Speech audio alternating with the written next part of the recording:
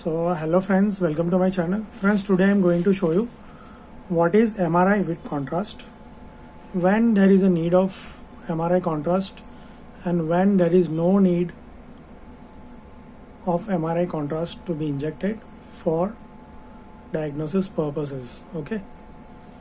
First of all, I will say MRI with contrast refers to a type of magnetic resonance imaging that involves the use of contrast agent or contrast dye you can say. Contrast agents are substances that are injected into the body to enhance the visibility of certain structures or abnormalities during the MRI procedure. When we are seeing edema or some lesions need of MRI contrast at that time MRI contrast has to be injected for and to enhance the lesion for the better diagnosis. Contrast agent is usually injected into the vein in your arm before or during MRI scan. And after injecting the contrast, MRI machine takes series of images while the contrast agent is flowing through the blood vessel, allowing MRI machine to assess the structure and the function of the area of interest more effectively. Contrast enhanced images can provide additional information about blood flow, inflammation. In this image I will show you. Here there is a large hyperintense signal. We can say this is edema. Here you can say another signal, white hyperintense signal. In these cases we need contrast to enhance the lesion. Okay so in this case second image I am showing you. In this case we have injected a MRI contrast. Afterwards I will show you what is the result after uh, after injecting IV contrast. So this sequence is after giving contrast. You can see this is white white. These are blood vessels. These are blood vessels okay your contrasts are flowing into the blood. And now you can see this is the lesion. And I will show you the another image. This was without contrast and this is with contrast. Now you can differentiate with and without contrast. How it looks after giving contrast. Here you can see. This is the enhancing lesion and this in this image it is only showing edema this is contrast sequence after injecting a contrast. Now you can see here is a huge enhancing lesion. Here lesion is also visualized and it is surrounded by edema contrast suppresses the edema and enhance the lesion. So in this case i have done contrast. Here you can see another lesion enhancing multiple lesions are enhancing over here. Contrast has suppressed the edema. This is fat sat T1 or you can say fat has been suppressed from the lesion and contrast is enhancing these lesions. Okay Now, which type of contrast is used? Contrast agent used in MRI is typically gadolinium based compound. Gadolinium is a paramagnetic substance that affect the local magnetic field within the body, which help to create clear and more detailed images. You can see this is a more detailed image than this is without contrast and this is with contrast.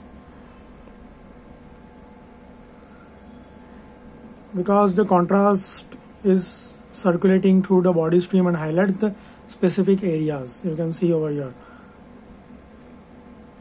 These are the abnormal tissues got enhanced by contrast. Now I will show you another scan.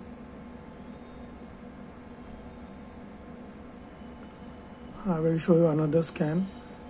This is another scan. You can see here is also a lesion in a CP angle is surrounded by edema. Now what I have done, we have explained the patient for contrast. Then after they went for IV contrast. again I will show you and compare the contrast images now I am scrolling together now in this first sequence you can see here is an edema FLAIR is a best sequence to take a decision for contrast. Okay? Many lesions are many lesions required contrast and many lesions doesn't require contrast. Like the, there is sometime a hemorrhage. Hemorrhage doesn't need of contrast enhancing. Okay? And sometimes there is an infarct acute infarct subacute infarct or old infarct in that cases also there is no need of contrast when you are seeing a edema surrounding or some type of lesion which needs contrast at that time only you have to go for contrast. Now you can see here is the lesion and this is intensely enhancing lesion over here. This is FATSAT T1 post contrast sequence. Dye has been injected in the veins and then after we have taken multiple sections for a better diagnosis now before contrast what you have to do? Some people may have allergic reaction reactions. Some people may have allergic reactions to the contrast agent. But it is relatively rare. But most common side effects are mild such as sensation of warm or metallic taste in a mouth or sometimes nausea. Severe reactions in mri contrasts are extremely rare but can include difficulty in breathing swelling okay so before undergoing an mri with contrast it's essential to inform your healthcare provider if you have any known allergic reactions, kidney problems, and other conditions. They may affect the use of contrast agent. Okay. Sometimes patients are having a complaint of sulfa. They having allergy of sulfa. So before undergoing contrast study, always you should inform your consultant doctor or MRI technician or a radiologist that you are having a allergies of any of the medicines okay so before going they may take a proper care before giving contrast. And one main thing before going contrast always go for a serum creatinine report. So it measures your kidney levels. If creatinine report is normal then only you should go for contrast study. Okay? So hope this video will be helpful for the patients who are undergoing for contrast studies mostly tumors need contrast study for a better and definitive diagnosis.